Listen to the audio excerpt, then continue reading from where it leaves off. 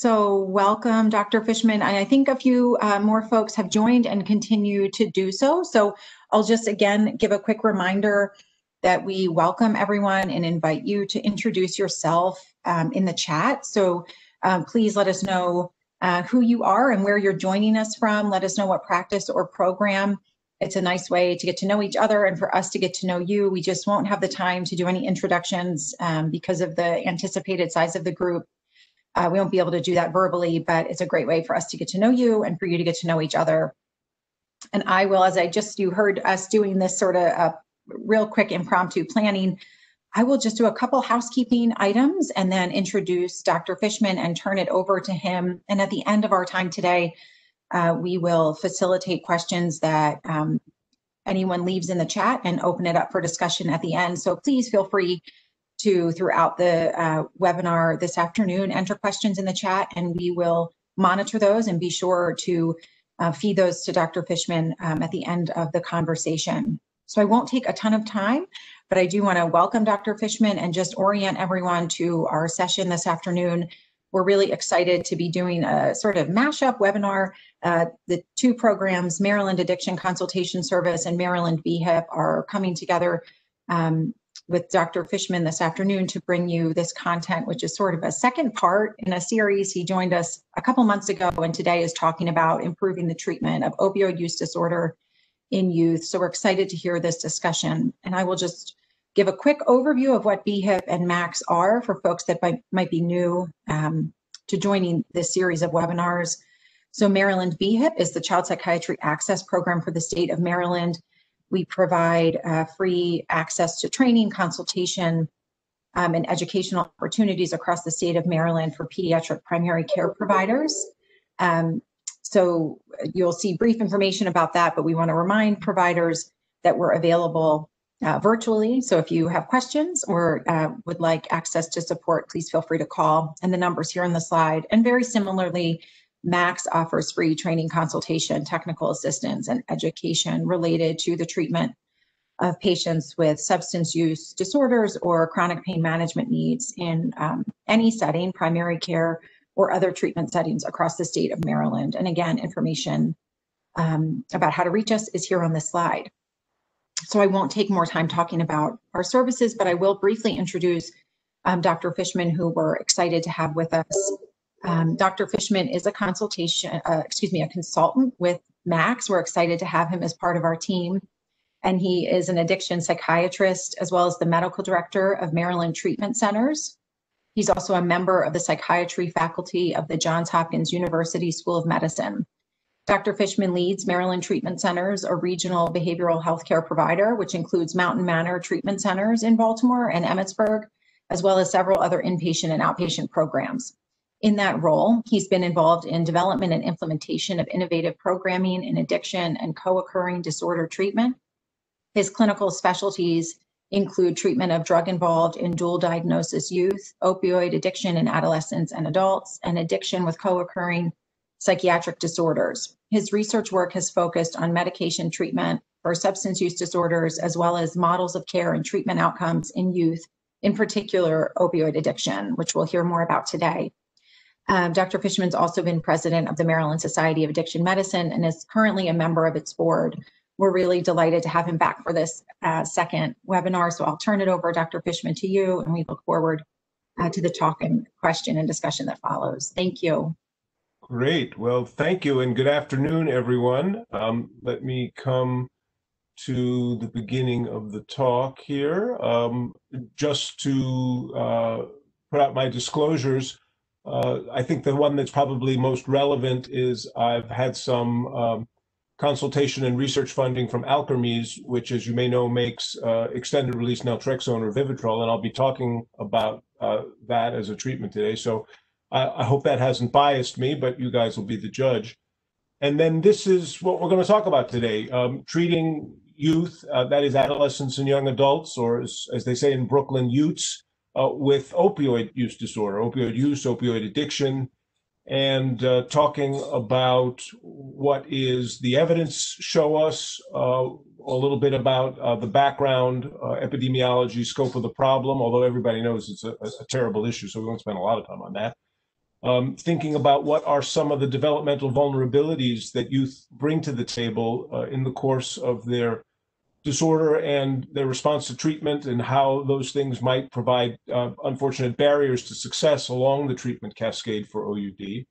Uh, talk about emerging models of care and what the evidence tells us about the use of particularly medications for OUD uh, in the treatment of OUD in youth. Uh, there's not as much research as we might like, and certainly not as big a body of research uh, as there is in adults, but enough, I, I, think, to to clearly guide our treatment. Uh, and now I'll spend some talking about actions. I'll emphasize a project uh, that uh, my group's been working on with assertive outreach, home delivery, and family involvement, but also want to talk about primary care integration and the possibilities for recovery housing, and uh, then get a chance for some questions and discussion. This is kind of um, the summary, if you will, uh, of what we'll be talking about today, and we'll come back uh, to the various details of this and, and then conclude with a recap. But OUD really should be thought of, I think, as an advanced malignant form of substance use disorder as a whole so sure, uh, opioids are different in their pharmacology. Uh, they're certainly more severe. Uh, we know about overdose and overdose death. But it's very important. And when we talk about prevention, I think it's especially important to think about how OUD is embedded in the broader view of SUD writ large. Uh, and it doesn't begin I think, with first initiation of an opioid, which is usually later than first initiation of other intoxicating substances. But that earlier experience with loss of control uh, is very formative in laying the groundwork for what I'm calling this advanced malignant form of the disorder. Young adults are disproportionately affected uh, by opioid use disorder currently uh, during this current epidemic uh, in the US. There is evidence and consensus, which we'll elaborate a bit, for the use of MOUD, that is, medications for the treatment of OUD in youth. But unfortunately, dissemination is poor. There are problems with capacity, with misinformation, with prejudice. And part of what we'll be talking about is overcoming some of those uh, barriers. But developmental vulnerability uh, in these young people is certainly prominent and that makes outcomes unfortunately not as good in this target youth population than the outcomes in older adults. So, what are we going to do about it? Well, uh, we need to be thinking about improved and developmentally informed strategies that can emphasize improvements in engagement, in retention, and medication adherence. And presumably, such strategies could help, although we are in the infancy of developing those strategies. And one thing in particular that I've been very excited about, which I'll talk about, is a project we call the Youth Opioid Recovery Support Intervention, or YORS, but also uh, several others that have promises as such innovative approaches. So that's kind of the talk in a nutshell. So a word up. Uh, you heard me say this, those of you who uh, heard the, the last, uh, the previous chapter when I talked more broadly about approach in youth, and the focus really there was on alcohol and cannabis uh, and earlier uh, forms uh, of SUD prior to the initiation in this subset that use opioids. But we want to think about addiction as a developmental disorder of pediatric onset. Right? Most people who have this order disorder over the lifespan get started uh, towards the second half of the second decade uh, and the beginning of the third decade, and peak prevalence is towards uh, the end of the second decade, you know, 19, 20, 21. So that's the place where all the action is, and uh, we ought to be reaching back into its formative origins in adolescence and young adulthood rather than only focusing on the the malignant later forms uh, in later adulthood. Not that we won't treat people who are older, but we ought to be working on treatment earlier on. Turns out that the vast majority of youth who initiate opioids have had problems and loss of control with other substances. People generally don't develop addiction with their first exposure to opioids. Not that it doesn't happen, but most young people who get into trouble with opioids have been in trouble with other things, typically cannabis, alcohol, nicotine, before they got to opioids. We know that earlier onset's associated with worse outcomes. We know that earlier intervention is associated with better outcomes. So again, thinking of opioid addiction as an advanced stage in the progression and evolution of this illness. And in that way, working on intervention for the earlier non-opioid SUDs, cannabis, alcohol, and nicotine, is in itself an OUD prevention strategy. All right, now let's talk about the scope of the problem. Uh, just to make the point here, this is non-medical use of prescription opioid analgesics. Uh, it's the data doesn't get quite uh, up to the current, but you can see a snapshot showing us that young adults have the highest per capita prevalence of non-medical prescription opioids across the lifespan. And the same is true for heroin. The amplitude of the percent using is obviously much smaller, but again, young adults, that is 18 to 25, have the highest prevalence across the lifespan uh, of the use of heroin. Not that people at other points in the lifespan aren't using, uh, but the the the, uh, the percentage among uh, young adults is higher, so they're disproportionately affected.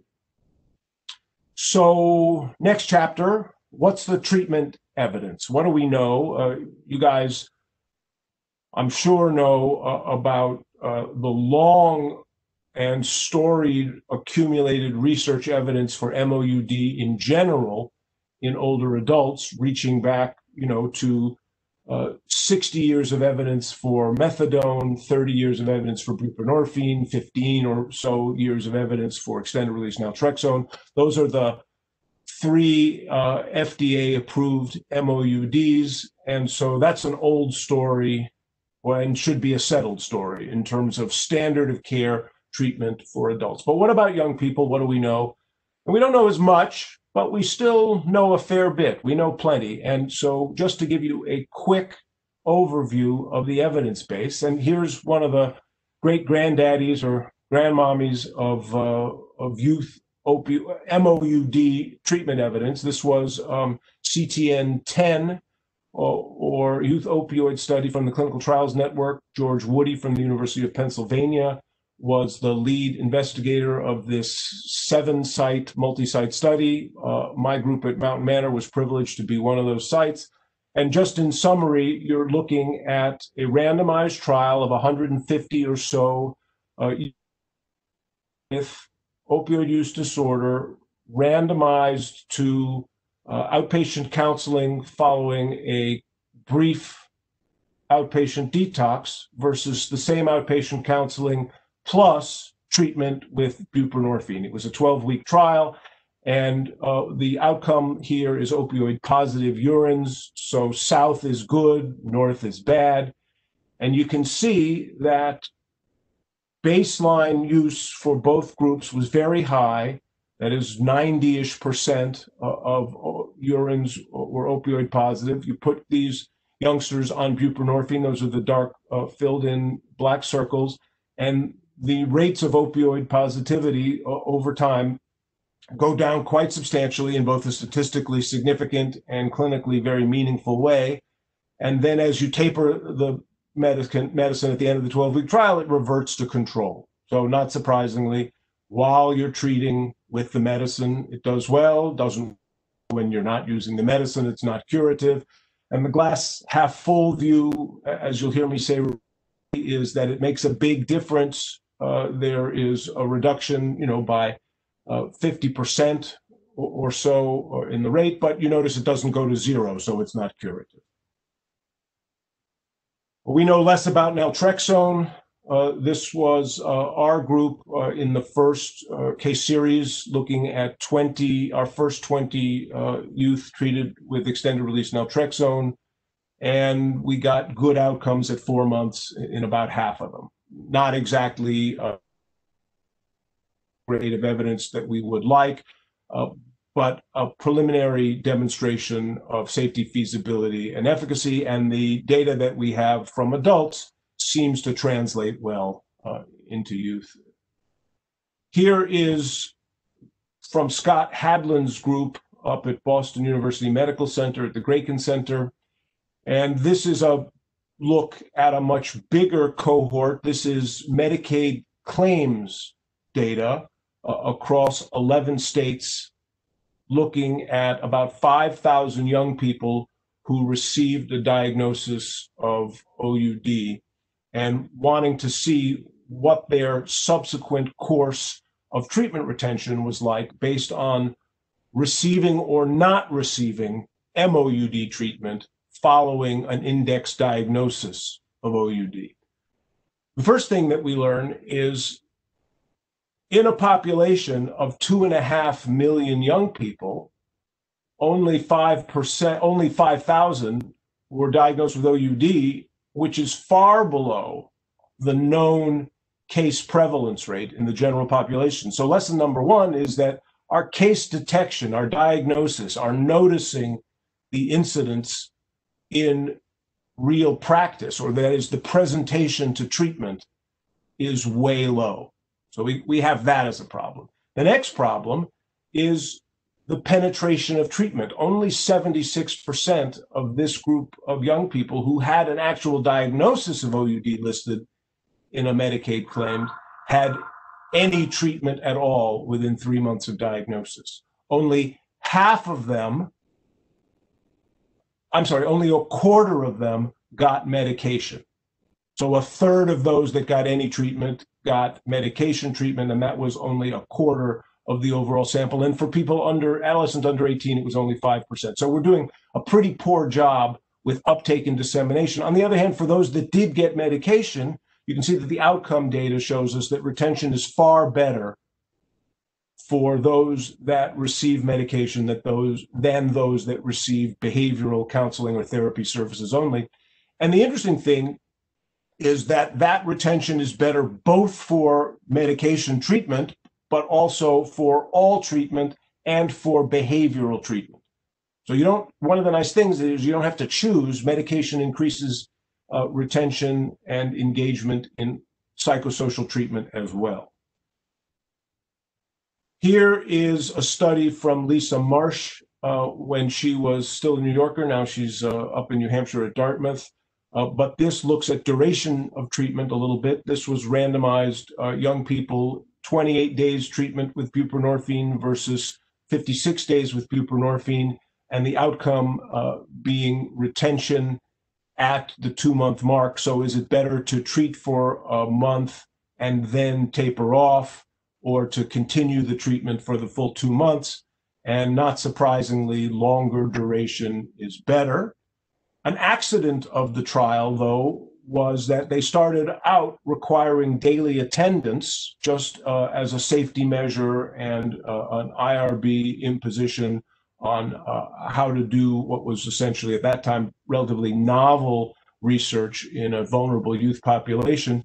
And they found that it was difficult to recruit. So, midway during the trial, they switched to a lower level of restrictiveness uh, on participation and supervision so that the requirement was now attendance two or three days at clinic instead of five to seven days. It was kind of an accidental finding, and they weren't randomized into the two different levels uh, of requirement. So you can see on the left the initial requirement of daily, and on the right, the subsequent modification.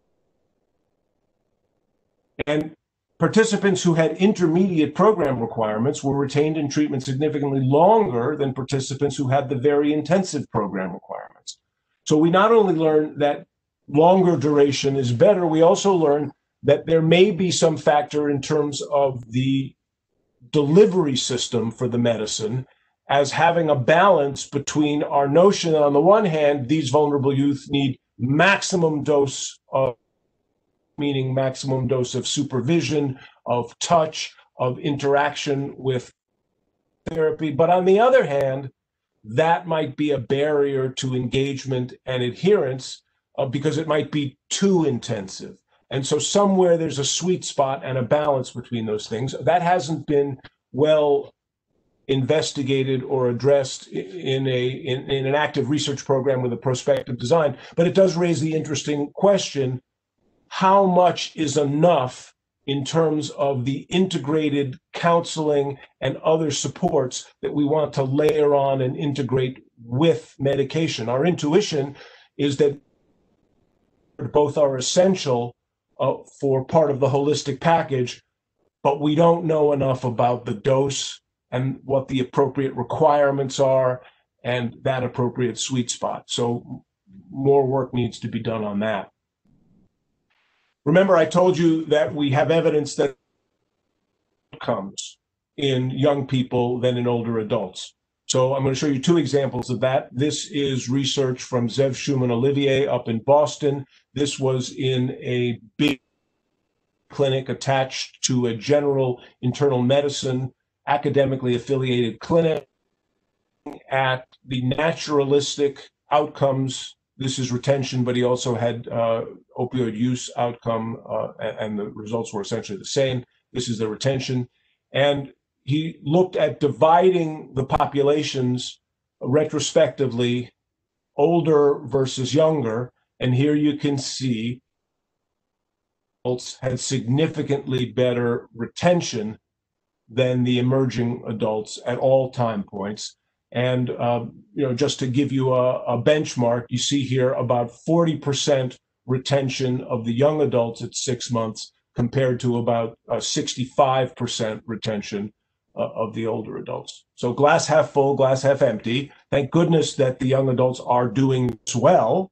Uh, 40% retention at six months is is very good. Uh, but it's not good enough. So glass half empty, there's certainly room for improvement, and they don't do as well uh, as the older adults do. And I'm sure that doesn't shock you.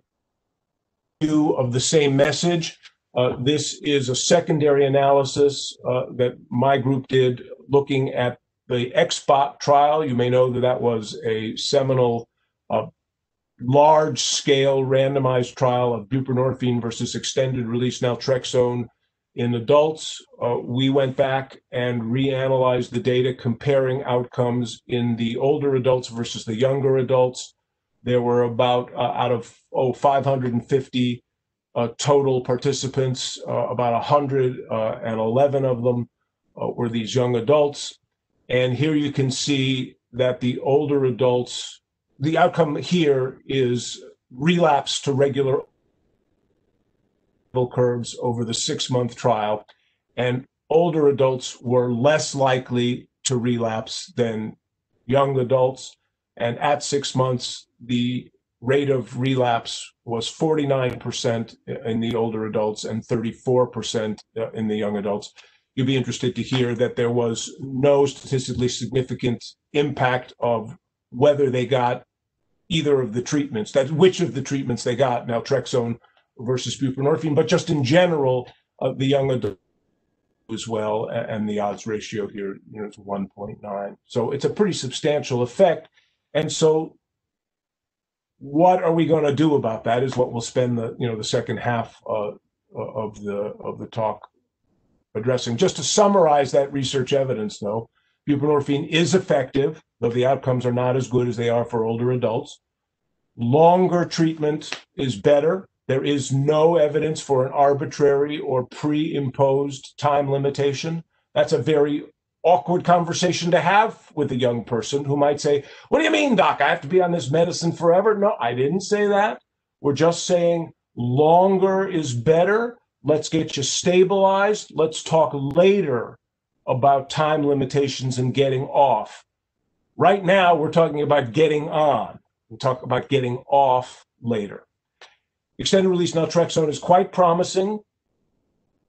Uh, good in the XBOT trial uh, secondary analysis that I just showed you. It was neither worse nor better for those initiating medicine, uh, including in the young adult population, uh, neither better nor worse than buprenorphine. But there is very little youth specific research, uh, and especially not in adolescents. The good news is that for both extended release naltrexone and for buprenorphine, medications promote retention in all kinds of treatment for youth, both in the medication component and in the psychosocial component. Another piece of good news is that there is so far no signal at all for any additional safety problems or side effects based on age. Now, I'm not trying to oversell. All medicines have side effects. These medicines are no different. Uh, but the side effect profile that we know about these medicines in older adults is not dissimilar than in younger adults. And there is no additional safety vulnerability conferred by I think work on important systems uh, the mu opioid receptor system in the body, uh, there could have been endocrinological, endocrinological, say that five times fast, endocrinological effects uh, based on, on the developing um, endocrine system. There could have been brain effects. There, there could have been any number of things. So far, uh, there is no indication of that. So in conclusion, and clinical consensus clearly points to the use of medications as first line in the treatment of OUD in both adolescents and young adults. I would add that although we don't have the specific evidence, uh, it seems to me uh, intuitive that that should be, as I said, part of a comprehensive, holistic, integrated package that includes different modalities of care support, co-occurring therapy, SUD counseling, mutual and self-help, other elements, but that medications are essential and that there is no evidence for a fail first strategy. By which I mean, some people have advocated that, well, we ought to give kids uh, the chance to do well without medicines. And then if that doesn't work, maybe start them on medicines. No way. There is no evidence for that and then think of what it means to strategize fail first in opioid use disorder, right? That failure might be an overdose, might be a fatal overdose. That seems to me to come at very high cost. So there's no evidence, uh, and that I think is not an appropriate strategy. First line. Well, if only it were that easy, right? All if all we had to do was just write more prescriptions for buprenorphine or naltrexone, wouldn't it that be easy? But of course, it isn't that easy. And we should talk a little bit about and what it is about young people uh, that makes it hard, uh, that makes these folks uh, difficult to engage, and that probably drives some of the differential uh, in treatment outcome compared to older people. So, just to give you a flavor, uh, a cartoon illustration, if you will, of what some of the difficulties are, let me just uh, throw out a composite case. Imagine a 22 year old young man, but it could be a 16 year old or 23 year old young woman as well. Uh, but anyway, a 22 year old young man, uh, he began cannabis at age 14. He began prescription opioids at age 17, progressing pretty rapidly to daily use with full physiological tolerance, dependence, and withdrawal within eight months of first initiation. And then within a year, progressing to nasal heroin, and then within another six months to injection heroin. And that's pretty typical of the compressed or accelerated trajectory of opioid use, which this person went from first initiation of illicit use of opioid analgesic pills to injection heroin within a year and a half is really fairly typical. And you might contrast that with, say, the progression of alcohol use disorder, where you would never expect progression from first initiation of a beer to a handle of vodka every morning within 18 decades to evolve and is just a reflection of different properties of opioids and opioid use disorder. Anyway, this young man's had several uh, episodes of care, three episodes of residential treatment, including uh, withdrawal management detox. He left two of those AMA uh, or prematurely. He graduated uh, from one of those residential treatment episodes, but never followed the recommendations for ongoing outpatient continuing care. He did attempt one outpatient initiation of buprenorphine treatment. That didn't go so well. He met the doc who said, Oh, you're uh, addicted to opioids. Uh, here's a month's prescription for buprenorphine and four refills and have a nice life. That didn't go so well as you can imagine. He took it erratically. He sold half of it. He continued to use heroin on top of it, not exactly a poster child for high quality and effective buprenorphine treatment.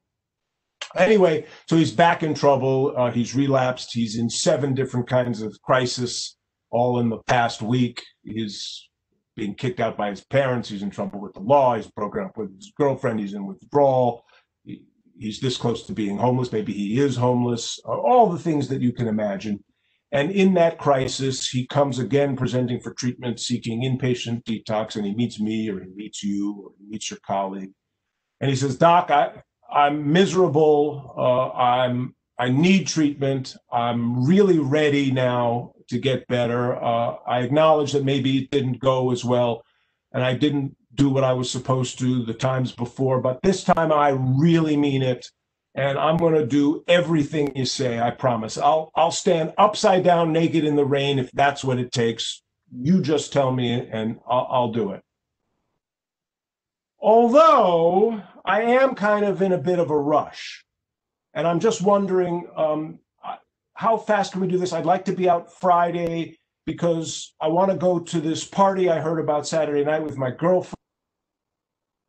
Oh, by the way, did I tell you I'm allergic to Suboxone? I can only take Subutex, right? That's because the mono product uh, is maybe more divertible than the combo product that has naloxone in it, um, and is and it has more street value. Oh, and by the way, did I tell you that I have bad anxiety and only one thing works?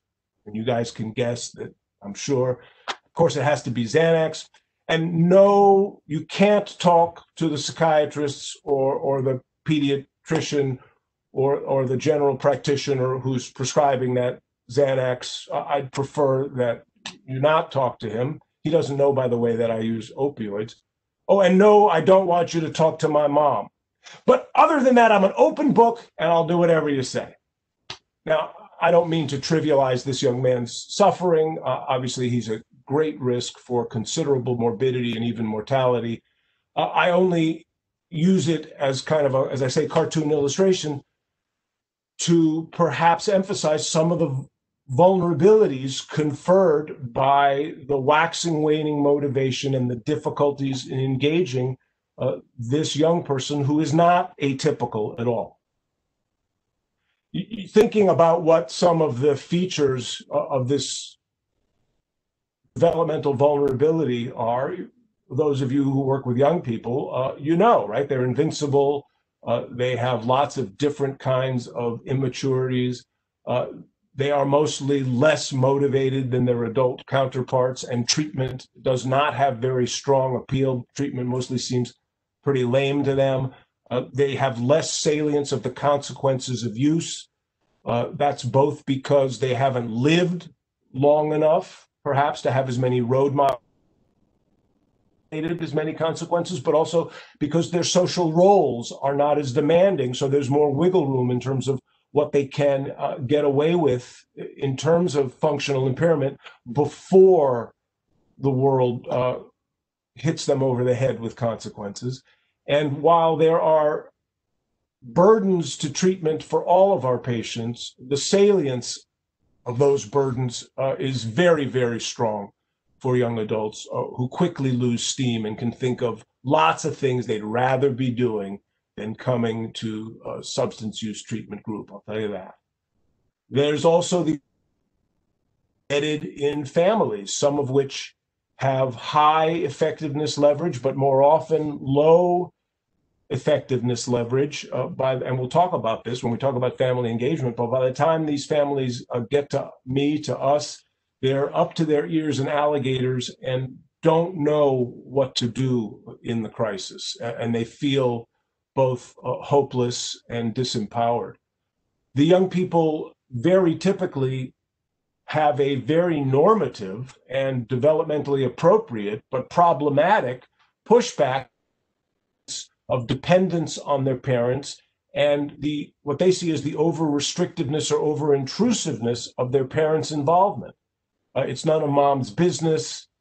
Uh, I'm all grown up. I'm 18 in one day. I've got this. And uh, again, as our young man in the in the case said, you can't talk to my mom, and she's got so much psychiatric comorbidity, not as much medical comorbidity as in older people. Uh, not that there's none. We certainly see uh, hepatitis. We certainly see HIV. We certainly see soft tissue infections. We certainly see a variety of sexually transmitted infections. But there's a lot and very prominent and high severity psychiatric comorbidity. I'm going to, just in the interest of time, and I'm going to jump on now uh, to talk a little bit about a potential approach. That is, uh, since, well, I, no, actually, I will go back and just show you this um, because we did a big study uh, looking at maybe the largest cohort of youth with OUD in treatment uh, to date. Uh, almost 300 folks coming through acute residential treatment and looking outcomes over six months. And it was interesting to see that although our standard of care is to emphasize, as I've been describing to you, uh, the use of MOUD, and many did accept our recommendation, many did not. So a third approximately elected to take extended release naltrexone before they left residential treatment. A third elected treatment with buprenorphine, but fully a third, a little more than a third, said, no, thank you, I don't need your stinking meds. And that's in a setting in which we've already gone through the cultural transformation transformation of making it, it first line. So that that already is an illustration of the problem in uptake. Even worse than that, though, happens kind of in usual care in terms of retention and uptake post residential, in terms of the low rates of ongoing engagement in treatment and uptake of MOUD. So over six months, this cohort who initiated extended release naltrexone, which was a third of the larger cohort, had 1.3 mean doses, right? And only 2% of them got all six monthly doses over the ensuing six months. And it was just about the same with buprenorphine that the mean days of taking buprenorphine over six months was about two months of the six. The baseline usual care retention is problematic probably related to the developmental difficulties we've been talking about. So, what are we going to do about it? And one of the things that our group's been developing over the last few years, a multi-component, or I sometimes joke, kitchen sink approach to trying to throw potential uh, components of care meant to address these likely issues of uh, developmental vulnerability. We call it the Youth Opioid Recovery Support Intervention, or YORS, and these are its four major components. Them uh, in some detail, but they are assertive outreach, family involvement, home delivery of MOUD using. We started with extended release naltrexone because it was the only one that was FDA approved when we started. But now, since extended release buprenorphine uh, is available, it includes patient choice of either of those two medications, but delivered at home, plus motivational incentives for receipt of medication doses. So it's a heavy lift. It's a lot. Uh, and as we'll talk about later, it's uh, research funded. I, so keep in mind that I don't yet know how to do this uh, in the real world for Medicaid pennies under standard reimbursement. But at least as we're developing it, and we're fortunate enough to have some research grants, it's interesting to see uh, how it unfolds. Assertive treatment uh, is not a new idea. It's well established for the treatment of a number of chronic illnesses in hard to reach populations with a waxing and waning course in which medication adherence is a major barrier, directly observed uh, medication therapies in TB and HIV. You guys know about assertive community treatment uh, with chronic and persistent mental illness typically schizophrenia, in which a multidisciplinary team goes out into the community, typically uh, using, uh, for example, long acting injectable antipsychotics. So the model is there, and this borrows heavily from that playbook. Uh, family engagement uh, is another component, and there's lots of reasons why family engagement has not been the rule in substance use treatment. Uh, people are, think, are not well trained. I already talked about the normative pushback against young adults' subjective sense of parental restriction. Uh, the SUD field has long concentrated on the idea of insight and internal transformation and personal uh, recovery. And not that those things are not important, they certainly are, but those of you who work with young people know that behavioral change doesn't always come from the inside and waiting for the scales to fall with a lightning flash of epiphany, you could be waiting a long time uh, for many young people. So how do we oh and i think another big barrier has been an over rigid concern with confidentiality uh, which is to say although confidentiality is of course a linchpin of treatment and an important principle uh, it is easy to overdo it uh, and to not think about ways in which we can share information in a productive way uh, with appropriate uh, consent. So I think families do have a core competence. I do think they have natural leverage. There are some cases in which families are so toxic that there's no hope. But I think that's the vast minority of families. Most families have a lot going for them. And besides, it's the families they have, and those families will be there long after we're no longer involved. Uh, so I think that thinking about what we can do to enhance the core competence that families already have and enhance that by giving them a recipe for treatment with clear role definitions uh, can be a help. And that's the basis of what we've done uh, in, in trying to develop this intervention. I think that encouraging the emerging autonomy of youth and their personal self-efficacy is not incompatible. That's a double negative, is compatible with the empowerment of families. You both ways. And to get families to think about what the key elements are. And some of those elements include in what framework doing family education. So it's surprising, maybe it's not surprising, uh, how little families know about OUD, about its treatment, about the medicines. Uh, we start from day one trying to put together a three-way treatment plan. Three-way that is the young person the family that's typically uh, a parental caregiver often a mom could be a grandparent could be a dad whatever is available whoever the whoever the young person selects and and the and the therapist. And the idea is that everybody's trying to get on the same page from day one and getting the ground rules of communication and getting releases signed up front and saying who should know what, who want to be informed about how things are going, uh, telling, asking the youngster, how will you like us to keep your mom abreast? How much is enough information? How much is too much information? Uh, what are the core kinds of things that we shouldn't be talking about? But on the other hand, remember, we are going to want to call the cavalry and push the panic button if we need to. Mom, you have to trust us that you're not going to get all the gory details, but we'll tell you what you need to know. Mom, what will you do to support attendance? What will you want to know about whether or not they got their dose of medication, about whether they showed up for a treatment attendance, whether or not their urine was positive for opioids or other things or not? And if it doesn't go well, God forbid, how do you want that to go in your family? What would be the consequence of missing a session, missing a dose, having a positive urine, relapsing? Would you come back to inpatient? Uh, how do you want that to go in your family? What would you like us to ask your mom to do if, God forbid, th- things don't go well?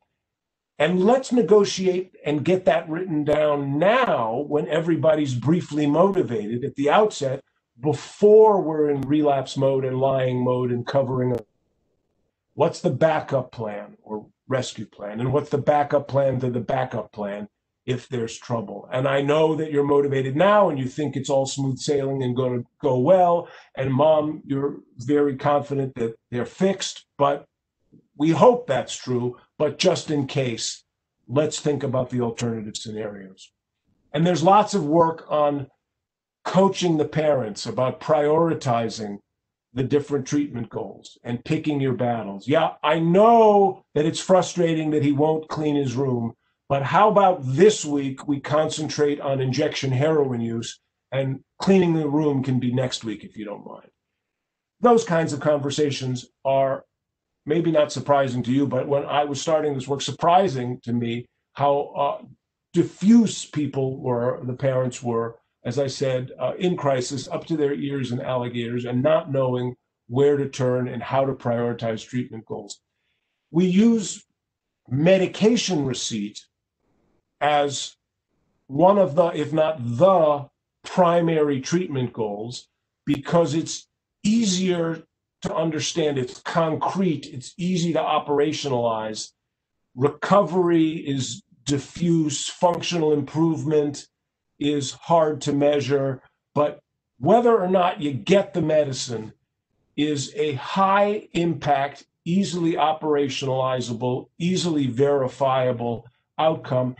And it has such an important uh, impact on outcome. The other thing is that it's familiar to families, kind of thinking about utilization of medical services and what it's like to care for a sick kid every mom has had the experience of a cranky, truculent, febrile four year old with otitis media who doesn't want to take the pink medicine.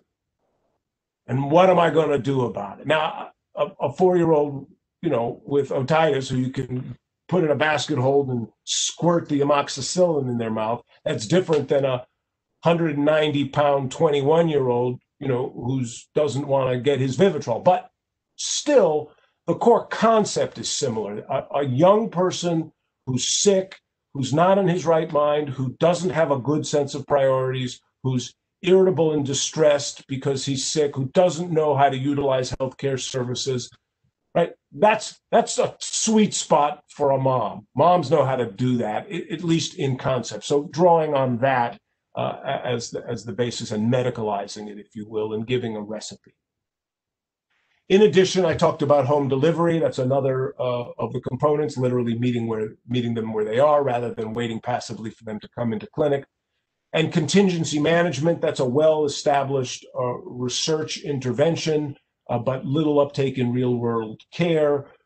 Other contingency management that's been better studied is motivational incentives for producing a negative urine, our target behavior is less well established, but maybe more generalizable, and that is receipt of the medication dose. So the the young people uh, get $25 for the first dose, $30 for the second dose, $35, et cetera, in an escalating uh, kind of sequence uh, to try to create uh, incentivization for that important goal. Just to give you some vignettes about how this is going. Uh, this might be, you know, one of the the, the poster child candidates. Uh, imagine uh, a 21 year old. Maybe it's even the same uh, kid that I illustrated before. He's an injection heroin user. He's had several inpatient detox admissions and, and rehab treatments over the past couple of years. And previously has gotten first doses of extended release naltrexone. The same could apply to extended release buprenorphine. It just hasn't been around that long. Uh, but gets a first dose, gets all excited uh, about ongoing treatment, and I'm going to keep getting these doses. I'm going to keep coming to counseling. I'm going to keep working with you, Dr. Fishman, but then never comes back for a second dose and quickly relapses. And then months later, it, while in crisis, you know, comes back through the revolving uh, detox door. Well, now uh, on this fifth uh, episode of residential care. He gets enrolled in the YORS program, and mom, a grandmom, is elected to be the treatment significant other, the parental caregiver. And he again gets a first dose of medicine while inpatient, and now it's a month later, and the home delivery team shows up at home with the dose, and now he's changed his mind. No, thank you. I don't need your stinking medicines. I'm good. And I don't know what his motivation is. I don't know if he's I'm good because I'm going to keep doing well and I don't need medication because I'm fixed, or if it's, well, I'm not sure I'm ready to commit to not using heroin. And so that's the reason I don't want the medicine. I, I don't know. I, I don't know what he's thinking. But grandma's not having it. I can try to persuade him to stick with it and explain why that's important and why the medicine is critical. But grandma says, nah, no is not an option. You're getting the medicine and it's a done deal. She's got the kind of leverage based on love and relationship and her parental caregiver role and moral authority and whatever else that I could never have. And so this young man then goes on and does very well and gets six doses. Uh, and it's very different in terms of activating the parental role for that leverage uh, that I, as a professional, you know, could never have. Just to show you some examples of how we do this assertive communication, we like to use group texts. So we've got the kid and the therapist and the parental caregiver, a mom or a grandma or a dad, as I said, and we're we're texting. It's a nice way of having open and transparent communication. Uh, here's an example of just some monitoring. Uh, hey, Ms. Blank, this is the mom. Just want to let you know that Brittany got her shot. No problem. Great. Thank you so much. Another example. Uh, hey, Dave, he's the dad. You might have already surmised this since you were visiting when we arrived, but just want to let you know that Jeremy is back on the shot. That's great news. Thank you. Uh, so we can catch him being good and report positive outcomes, or we can uh, report difficulties, and it's clear that everybody knows. What I call maintaining therapeutic optimism. The kid saying to the therapist, Hey, I'm getting kicked out because you told my mom I didn't leave a urine. So, yeah, I'm going to have to stop the study. Or you can come leave a urine. I couldn't pee. What was I supposed to do? Wait two hours until I could? And now I have to go live in the city in a an abando, a, a, a, an abandoned building. I'm still here. Come leave a urine. Don't use this as an excuse to relapse. Thanks for everything. Goodbye, cruel world. And then later it unfolds. All right, I'm coming up to leave a urine. So just keeping at it in this assertive way and not taking no for an answer. Here's an illustration of uh, another example of parental leverage uh, the team comes to the house and they're trying to find a uh, a private place in the house. The injection dose and mom is hovering. And the patient says mom you can't be in here while i'm getting the shot. And the therapist appropriately thinking about confidential health care says ma'am i think it's best if we provide her privacy for the injection. And the mother says are you kidding me of course I'm staying. I'm not leaving this room till I see that medicine go in you. And, and I'm not endorsing mom's position. Maybe it's over intrusive. Maybe it's overly uh, infantilizing. I, I don't know, but it's an illustration, but it works. And it's an illustration that a mom can have that the rest of us can't, and trying to draw on uh, a multiplication of that leverage. All right, we're going to run out of time, so I want to just show you a little bit of our data. Uh, we've now done one randomized trial. This was with uh, extended release naltrexone alone, as I said, because it was the only one that was approved. Uh, it was an N of 38 in which we randomized young adults to either this YORS intervention and a quick snapshot of the data. Here's a histogram of receipt of cumulative doses. The red is the YORS intervention, and the gray is treatment as usual. And you can see that the dose and tapered quickly out where there was a relatively robust delivery of medication uh, in the YORS group. The mean number of doses delivered over six months was 4.3, and 44% got all six doses compared to zero. The survival uh, curve of relapse free status. So, uh, this is essentially how people are relapsing over time. And in the treatment as usual group, by six months, about 95% uh, had relapse.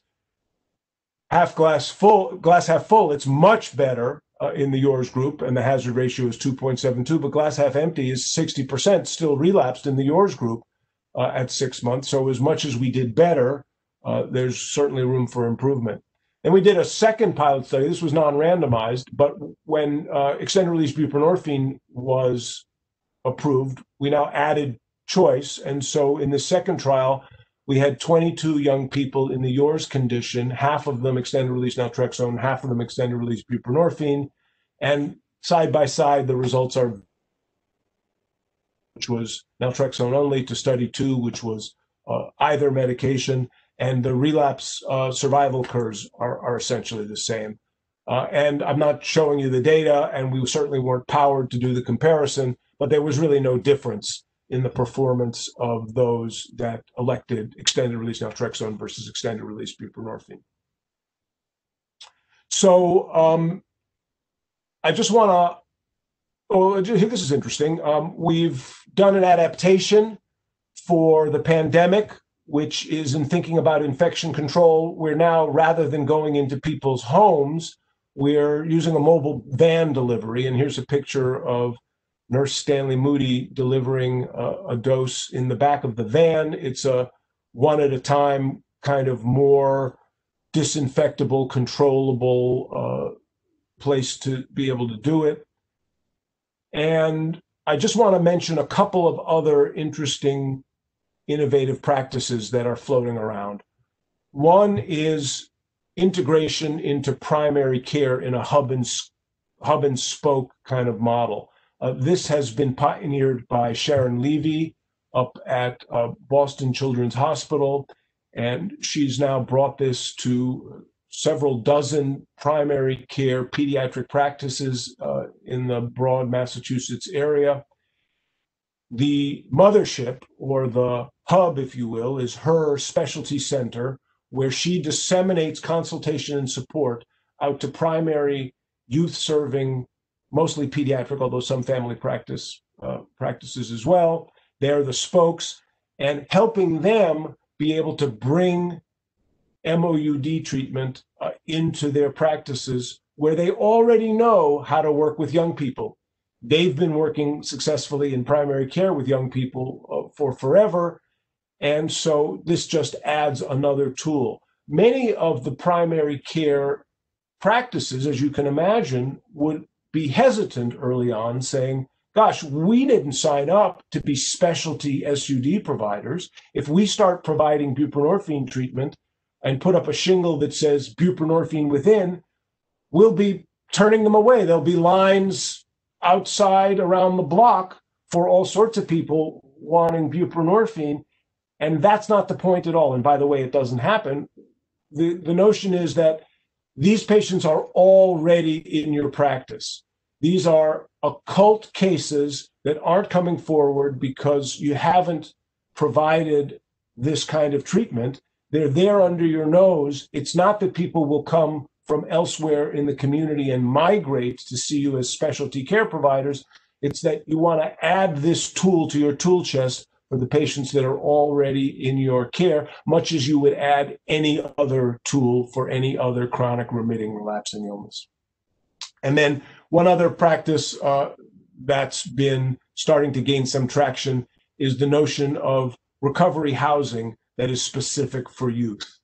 And recovery housing is a common element uh, in the treatment continuum of care. It's actually usually not treatment, right? It's supervised housing and you can imagine people might be homeless or might be housing unstable, or their parents might not want them to come back yet uh, to the home, or they might not be able to afford uh, independent living. But when young adults go into adult style recovery housing, which is common, they tend not to do well for a number of reasons. One, there's not enough supervision. They don't have ind- good independent living skills, and so they don't really know how to care for themselves uh, entirely independently. And secondly, in a paradoxical way, there's both too little supervision and too much supervision because there's a fair number of rigid rules and they always break them, right? Because the kids get up to shenanigans and the girlfriend is in the room and they break the curfew and then they get thrown out. So, this notion is thinking about youth specific, developmentally informed recovery housing that takes into account the kind of shenanigans that young people, kind of supervision that can be youth friendly and embeds it in a full continuum of care. And in addition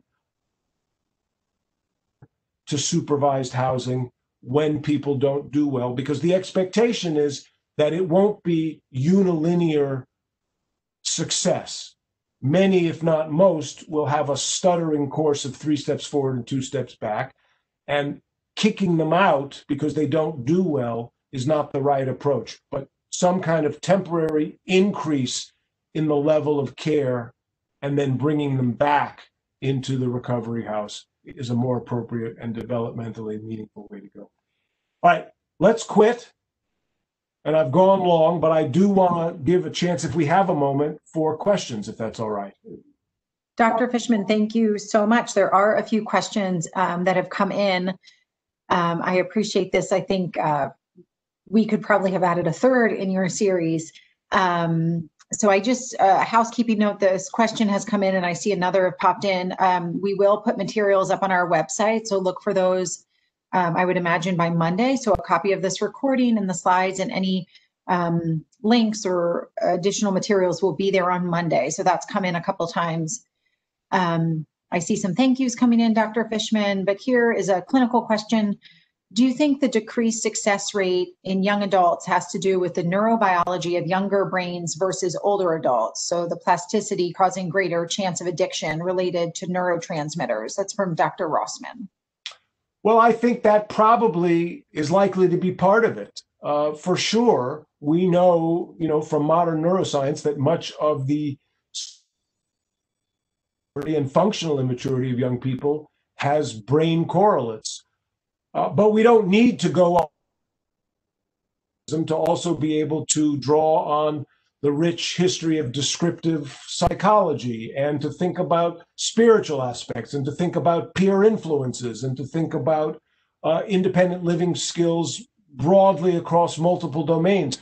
So I think, yes, that's going to end up be part of it. Uh, certainly things like uh, immature executive function and higher levels of impulsivity. But whether or not we can ever get to the reductionistic understanding of neurotransmission and neurocircuitry mechanism, uh, we we know that it's a, a, broad-based phenomena. It will be interesting to see whether advances in neuroscience and getting that mechanistic look under the hood will lead to interventions.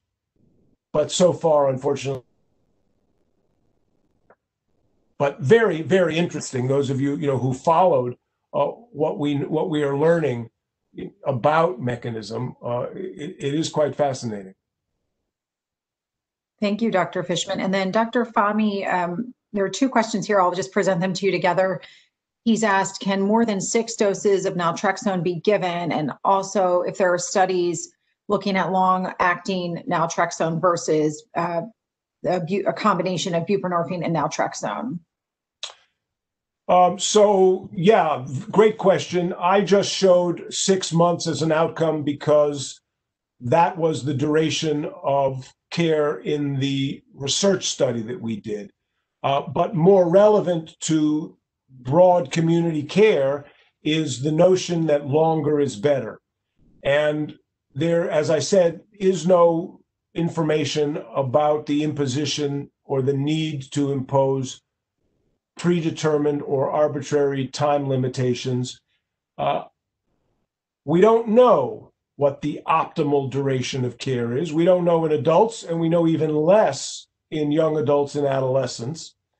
I typically ask people to think with me to use a functional clock rather than a chronological clock. Well, what does that mean? Well, that means Let's get you onto treatment for as least as long as it takes to get you back on your feet. What have you lost from addiction? uh, let's get that recouped. Is it getting back to work, back to school, back with your loved ones, back with your romantic partner, squared with your family, out of trouble with the law, over your depression, you know, all of those kinds of things. And then when you're stable, then we can think about what maintenance needs to be and when you can come off of the medicine. But we don't know how long that will take. So let's go by your own personal functional landmarks. Oh, okay, that makes sense. But really, doc, how long? And then I say, I don't know, give me a year. And I don't have data for that. It's more than a day, less than a lifetime. It's a round number. So I typically uh, uh, say, let's let's try this for a year, and then we can talk about what the next steps are. And I got to say, unfortunately, I rarely make it to a year because people drop out, and we talked about part of the problems uh, with retention. And so I wish I could make it to a year. it, it is much more a problem getting people to stay on medicine than it is how to get them off. So again, the best we can say is longer is better. Because unfortunately, most people who stop medicine do relapse. Now, that's not true of everybody, but we don't know enough about how to pros- prospectively select those who will do well tapered off medicine versus those that need to stay on indefinitely. And your thoughts or studies, just to wrap up Dr. Fami's question of, of buprenorphine versus naltrexone? So the biggest study we have is, as I mentioned, XBOT. Uh, that was in 500 or so uh, adults, but that included the young adults that um, uh, comparing sublingual buprenorphine to extended release naltrexone. And the two punchlines to that study were that getting onto naltrexone is harder than getting onto buprenorphine. You already knew that, but that was an important result. That is, uh, some 20% or so of people didn't make it onto now, those who were randomized to naltrexone didn't make it onto the naltrexone. It's a little harder, as you know. Uh, it takes uh, a washout period. Uh, many people don't make it to the starting gate, even. They drop out uh, before they get onto the medicine, whereas buprenorphine had a much higher rate of initiation or induction. Having said that, though, if you compared the populations of people who first started medicine, who got onto at least one dose of either medicine, are identical.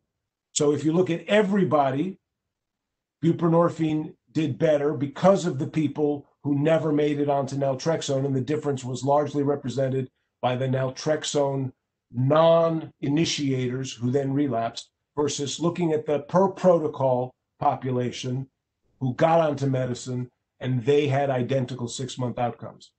We have not yet seen a study comparing extended release buprenorphine to extended release naltrexone.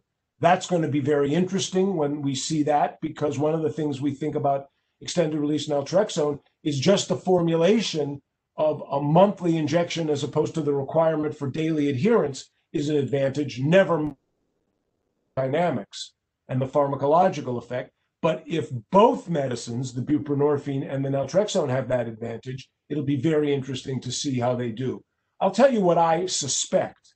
I suspect that the horse race question of which is the better medicine is probably the wrong question. And more important is what are the patient matching characteristics for which medicine is better for which person? And so the answer about which medicine is better the answer to that is yes. But the answer to which medicine is better for a particular person at a particular time in the course of their OUD trajectory, that's what we really need to want, what we really want to learn. And, and unfortunately, we don't know that yet, uh, but we look forward to studies that will help elucidate that. Thank you, Dr. Fishman. Um, we have answered all of the questions in the chat. There are some uh, grateful comments and appreciation uh, for a very informative talk. Uh, so I will not read them all, but just tell you there are lots of thank yous and uh, comments on how informative and useful this talk was. So thank you again for joining us for the second uh, talk sort of in a series. We accidentally stumbled upon a series here and perhaps we'll pull you into another. Thank you for spending the time. Yeah, and just the last word, I encourage any of you who are new to this work uh, to dip your toe in the water. You know, if you have the patients uh, already uh, in front of you, but you've been skeptical what to do, it isn't as daunting or as hard as it seems. These are relatively forgiving. They are relatively easy to use, especially for maintenance uh, once they've been initiated. And so I would encourage you uh, to give it a try, uh, to bring this work to your young adult and adolescent patients.